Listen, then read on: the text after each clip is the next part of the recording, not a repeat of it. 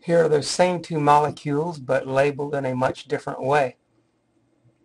The R and the S here are a lot like the E and the Z that we saw when we were talking about another way to name cis-trans isomers with alkenes. In fact, the same people that came up with the E and the Z also did the R and the S. And these are the last names of three different scientists, chemists who came up with this. Cahn Ingold Prelog. And you can see that the enantiomer that's on the left side, uh, as it was on the previous slide, is labeled with a capital S, and the other one is R. And it turns out that there's a way for us to designate any pair of enantiomers, one being R and the other being S, if we know what to look for. And it has to do with ranking the substituents on the carbon, 1 through 4, and then noticing their relative positions. It says here, you can look on page 286 to get some examples of this. But the way we've labeled this one on the left uh, is by atomic number of what's directly connected to the chiral carbon. Remember, it was atomic number we used when we were talking E and Z. And so the oxygen in the OH group outranks the carbon that's part of the ethyl group, which outranks the carbon that's part of the methyl group.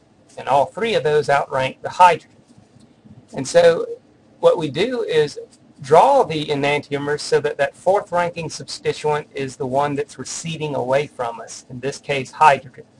And with chiral compounds, it's oftentimes a hydrogen that is that fourth ranker.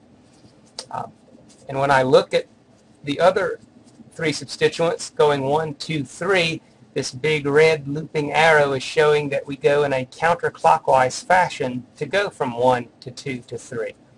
Whereas its enantiomer, it'll necessarily be true that when we go from 1 to 2 to 3, labeling the same substituents in the same way, but now we're going clockwise. And so that S is associated with that counterclockwise rotation and the R with the clockwise. Doing this doesn't tell us anything at all about which one is going to rotate plane polarized light in a particular direction. We know how to match these up because these are well-studied molecules. But this does allow me, if I know these rules, to be able to take the names and draw one particular enantiomer versus the other. And a lot of the exercises, uh, the worksheets in this chapter have to do with recognizing enantiomers and being able to assign either an R or an S to them. The R, by the way, comes from the Latin word rectus, meaning right, and the S comes from the Latin word sinister, which means left. Nowadays, sinister means evil, but uh, in the old days, it simply meant left. And so S and R means left and right based on these arrows that we've drawn. Because in principle, any chiral compound, because it has four different substituents on the carbon, that means we have to be able to rank the substituents 1 through 4 based on atomic number. And so there would always be this oppositeness. One enantiomer is R, the other has to be S. Here's some other ways of representing differences in chirality. Uh, ball and stick models do a good job of that. And if we know the identity of those atoms, we could rank those R or S. Wedges and dashes do something similar.